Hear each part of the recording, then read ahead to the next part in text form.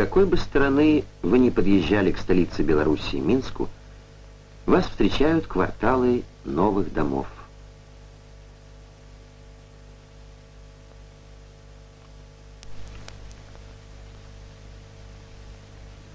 В годы Великой Отечественной войны фашисты превратили город в руины.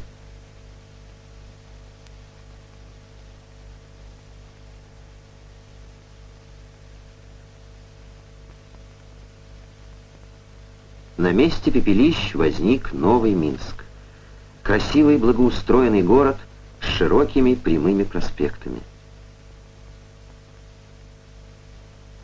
На одном из них, проспекте Ленина, главной магистрали города, находится Дом правительства.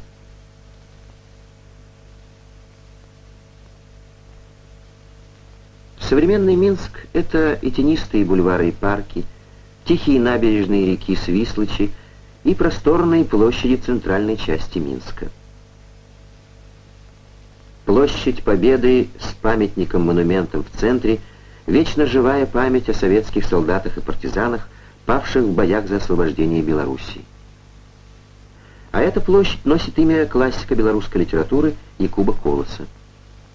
Минск — административный, научный и культурный центр республики.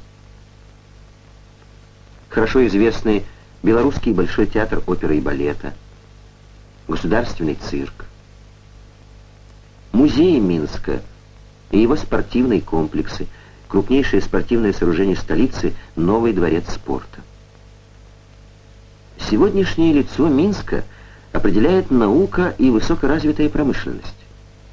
Республиканская академия наук и ее научные учреждения занимаются исследованиями в различных областях современной науки.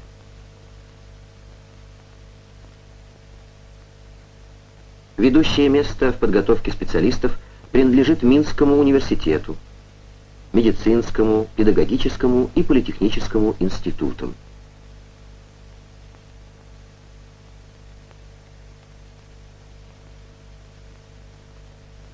Минск – один из крупнейших центров машиностроения Советского Союза.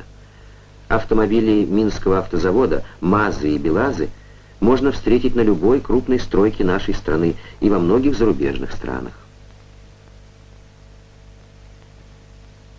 а на полях тракторы «Беларусь». Широкой известностью пользуются изделия мотовелосипедного завода. Свыше 10% всех производимых в Советском Союзе металлорежущих станков имеют марку Минского завода автоматических линий и станкостроительных заводов города.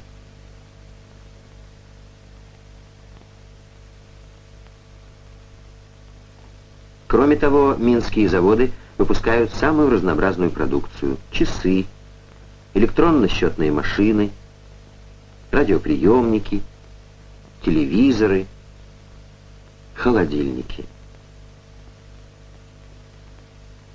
Развивается и легкая промышленность. Газеты и миллионные тиражи книг печатаются на полиграфическом комбинате имени Якуба Колоса.